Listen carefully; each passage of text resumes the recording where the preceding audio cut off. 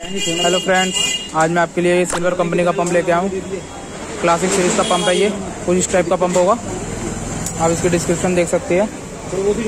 एक एचपी का पंप है ये, अट्ठाईस सौ सक्शन डिलीवरी 25 बाई 25 का है ये। और वेट इसका 22 किलो के आसपास का पंप है ये। आप देख सकते हैं। तो चलिए आपको मोटर दिखाते हैं। कुछ इस टाइप की मोटर होगी है ब्लैक फिनिशिंग में है। आप इसकी प्लेट देख सकते हैं। आपने जो उनकी लेनी है वो ले लो। इसमें हमने पाइप कस दिए है ये इनलेट है। ये आउटलेट है और ये इसमें स्टील का पंप है ये। ये मिनी टेंडी के हिसाब से है पंप ये। हाँ पूरा बाथरूम की ये इसकी वायर है। कोई दिक्कत इसमें ये अर्थ की तार है। ये फेस न्यूट्रल है। ही को हमने तो आपको पानी उठा के दिखाते हैं। चाहे ऑटोमेटिक चले ना चल ना चले। समझ गए ना?